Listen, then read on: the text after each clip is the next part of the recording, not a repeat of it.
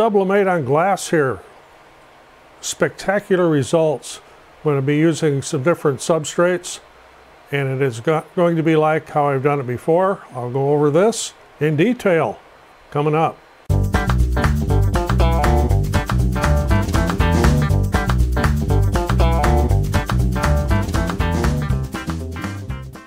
I'm Roger, welcome to the Loft Above the Shop, and today I'm going to be showing you how to sublimate onto glass, different types of glass too, not just the Dollar Tree cutting boards like I've got here. In the past I've done it directly to vinyl, like this, and every once in a while you'll get one where the colors will bleed, like this one here. The colors bleed away from where you put them, especially with the black. And there are a few different things that can cause that. But I found a, a method here. Actually, it was at the suggestion of a viewer. Can you use laminate on glass and sublimate to that laminate? Well, I have tried that in the past and I always had a problem with it really getting the stick or I get air bubbles in it. Well, I've kind of perfected a method now where you could take a photograph or a graphic of your choice and put it on the glass and you get just spectacular results using laminate. And then I put white vinyl over the laminate so that you get a, a good rich picture. I'm getting reflections of the lights and everything else here, but so what am I going to use for this? Well, let me get some parts together and then I'll kind of explain how this works. Because I'm gonna, there's going to be a lot of doubters and naysayers out there over the method I'm going to use here, but it does work. So what are you going to need to do this project? Well, you're going to need some graphics made. And I've got two here, and I've got uh, several more over on my Sawgrass printer. My 2720s right here. Okay, to answer a few questions right off, can you use a laser jet printer? No. Can you use a regular inkjet printer? No. You need a printer with sublimation ink and preferably use sublimation paper. So no, you can't use a regular inkjet printer. You can't use a laser jet printer, it won't work. It's got to be for sublimation, using sublimation ink. So the next thing you're going to need, these are laminate sheets. You get these at your, these are stuck together. You get these at your uh, office supply store and normally you would open this up like so, put your document or whatever in there, put it over that and then run it through your lamination machine or put it in a heat press or whatever to heat seal it in. We're going to be using this and we're going to be tearing them in half and I'll get into those steps here coming up. Also going to need some white vinyl. It doesn't need to be this curly. I'm using Oracle 651 normally, except this happens to be a roll of Siser. That works too. Permanent outdoor vinyl, not HTV. Next item you'll need is a substrate. So what do I have here? The infamous Dollar Tree cutting board. Glass. Dollar Tree picture frame and mirror right there. There you can see the camera and the monitor and everything. So those are the uh, items I'm going to be putting uh, my graphics on and I'll show you how to do this now step by step. The first thing you're going to need to do is measure your project or your, your substrate base. So my Dollar Tree cutting boards and of course you want to tear the laminate sheet in half and you've got a cloudy side and you've got a, a shiny side. The cloudy side is the side that's going to go down to the substrate, glass, mirror, whatever here. So I am actually going to cut this because you want to cut it to size because the way I do it here, the laminate does not shrink. So I'm going to lay this here. I'm going to actually cut this out of my Cricut because I already have a pattern for it. So I'll cut this on the Cricut next.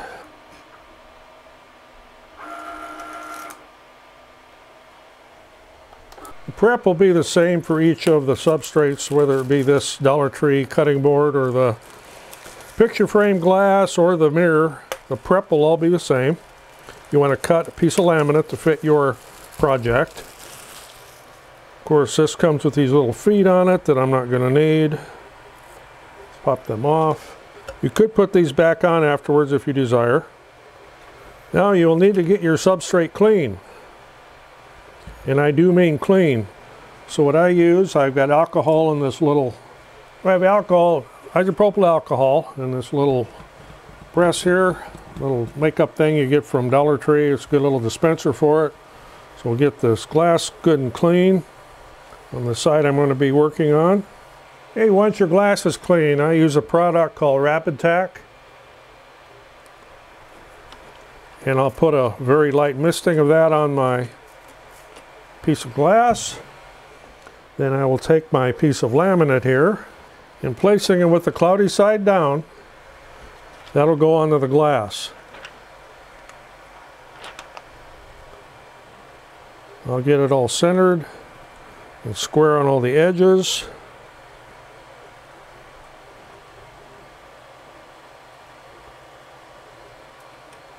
Then I'll take a squeegee of some sort and starting from the center, I'll go out towards the edges.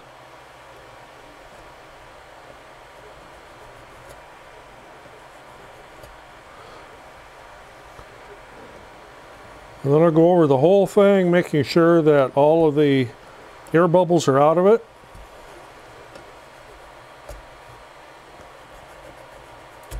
I'll take a look here and make sure that there's no air bubbles anywhere. It's important that you have this step down perfect. If you have any air bubbles in there, it's really going to show up on your finished product. And once you're satisfied with how it looks, you can dry off the edges here. Now you'll be ready for your graphic. So I'm going to lay an old mat down here someplace. Yeah, I'll lay my graphic down here. Now for this instance, you do not mirror your graphic. On the side you just put the laminate on, that side will go down on top of your graphic. You can get it centered as you wish. I made my graphic a little bit oversized so I can get my position just the way I want it. And you'll need to apply some heat tape to keep things from shifting. So I am not applying the laminate with heat ahead of time. I'm doing this all in one shot. Somebody's going to disagree with me, but it works perfect every time. So there's my first project prepped. I'll get another one ready. As I mentioned about pre-cutting the uh, laminate, what if you don't have a Cricut? You don't have to have one. This is, I'm going to use a Cricut mat here. It's a cutting mat. But you could use any cutting mat. Just down here and get her smoothed out and stuck.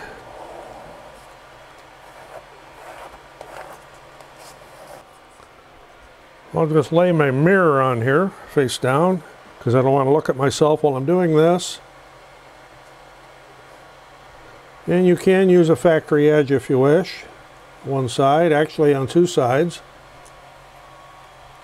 Then you will just cut around the outside of that.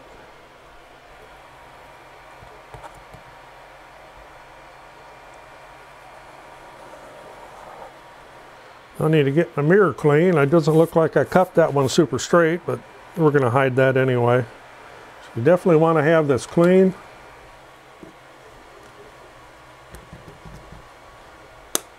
Windex would work. I like to use alcohol in case there's any kind of oils or anything on there. Want to make sure you're not leaving any fuzz behind or any kind of marks, fingerprints, because it will show up later on this mirror. I got my piece of laminate here, again. Just a little light misting of Rapid Tac. The cloudy side, dull side of the laminate down. Get my cutting mat out of the way there. Get back down on the towel.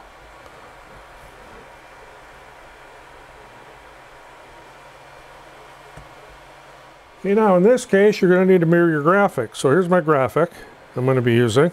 And I will be laying this with the laminate side down. Of course, the mirror backing will be facing me. We'll get things lined up there. And I already have know where I wanted to be on here. And we'll heat tape those edges down. And that one's ready to go. And the next one will be the glass out of the Dollar Tree photo frame. Now here is someplace you're going to have to be careful because this glass in these very inexpensive frames is very thin. It's very easy to break. On the back side here we got the little tabs we got to bend up out of the way. Move the backing. Remove the picture that came with it. Then carefully remove the glass. And I do mean carefully, but this glass is very thin. So now we'll need to get a piece of laminate cut to fit that. And I'll use the same method here. And of course I need to clean my glass. Rapid Tac.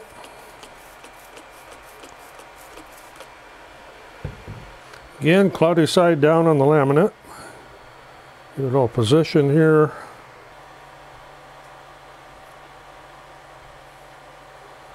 Look it over, make sure you don't have any air bubbles. Again, be very careful with this Dollar Tree glass. When these picture frames, it'll break real easy. Guess how I know that? Oh, I'll lay my graphic down, and of course this one is not mirrored. Put our glass on there with the laminate side down. Get a position where you want it. And I know the question is going to come up, what about that heat tape dispenser? Where'd you get that? That's an Amazon thing. They're not expensive. Some people love them. Some people hate them. I happen to like it. I use it quite a bit. So we're all prepped there and ready for the heat press. From the helpful hints department is uh, when you get ready to do glass like this, preheat your heat press and then run it a cycle with nothing in it that preheats the mat on the bottom, you'll get a lot better results. Otherwise, your first project always comes out a little bit uh, underdone, so to speak. Yeah, our time and temperature setting here is 385 degrees for 180 seconds. Medium pressure, not super, super heavy on this uh, light glass. On the cutting board glass, you could go a little heavier if you wanted to. So I've got everything all preheated here. Lay a piece of paper down there. We're going to start with the Dollar Tree picture frame glass. You'll want it face up. So in other words, your sublimation paper and your graphic will be at the bottom. Piece of paper on top.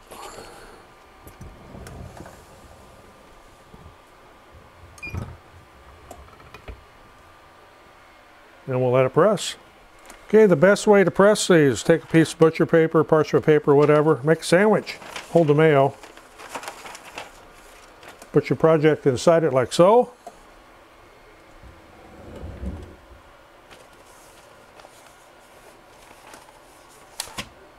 Set it down, make sure that the uh, graphic is on the bottom, the glass is on the top. I'm showing this second method uh, just as a little information, makes it a little bit easier to take it off the press. And we'll press this one. Hey, there's the first one we just took off. It is extremely important not to mess with that until it completely cools off. Don't try to peel it, don't shift it, don't do anything with it. Just let it set until it gets completely cool. Make absolutely sure you got heat resistant gloves on. You grab that glass without them, you'll only do it once. Now it's important that you don't shift anything when you take this off.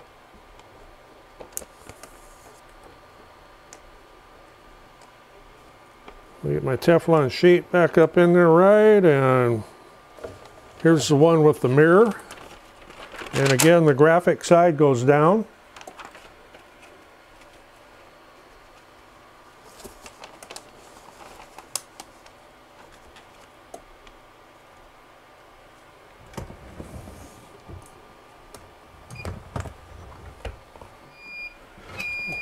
So there's my last one with the mirror and I'm actually going to shut my heat press off and just swing this out of the way and let that one cool right there on the mat because I'm out of places to set stuff. So I'll just let that cool right there. So here's the first one we took off. This is on the uh, Dollar Tree picture frame glass. Just peel the back of that off. See we got real good color transfer. And I'll get my heat tape pieces peeled off carefully because this glass is also very sharp. So here's where you have some choices. It's more or less a transparency right now. You can see right through it. So you can either put white vinyl behind it, put a piece of white paper behind it, or you could backlight it. It just depends on what kind of effect you want. It'll be even more substantial on the thicker glass from that cutting board. This kind of gives you an idea here. So I'm going to get this put back into the picture frame with some white paper behind it. So here's our Dollar Tree glass with the laminated, sublimated paper behind it, picture in the frame. And if you uh, just use white paper like I did, it gives a little bit of a dimensional look. If you would apply vinyl to the back, that some of that dimension would go away. The colors would be a little bit more vivid and sharp. I'll show you what I mean by that on when I do the cutting board one here. So what I need to do for that, for the cutting board one, right here, oh that's still pretty warm. I need to uh, cut a piece of vinyl to fit the back of that. I really hate the end of a roll of vinyl. Curls up so bad. Like that. It also makes it fun when you're trying to put it down on your cutting mat. Again, this is permanent outdoor vinyl. I would normally use Oracle 651. We had a partial roll of Siser here, which will work just as well. And while the vinyl's cutting back there, this is cooled off enough to grab now.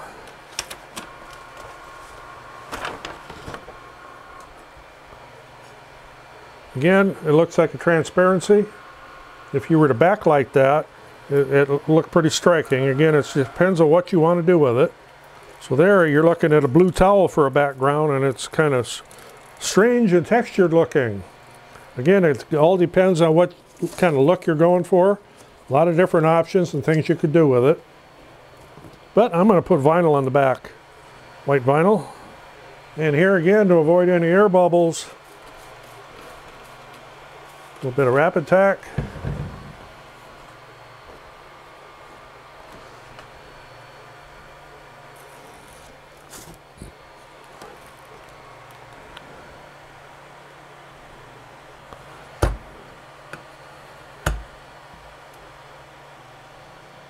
That's what's nice about Rapid Tac is if you got an air bubble, you can take it right out. Oh, there we are. That's my great granddaughter, by the way, Paisley. Having a little bit of fun last fall on her little motorized trike. So what can you do with this from here? Well, you could put the feet back on the back of it and use it for a, a cutting board, although I wouldn't. However, do not use a laminate fitted picture like this as a trivet for something very hot because it will soften that laminate up and the laminate will let go. That's I know that from experience. So next one I need to get is that mirror. We got our mirror mirror here.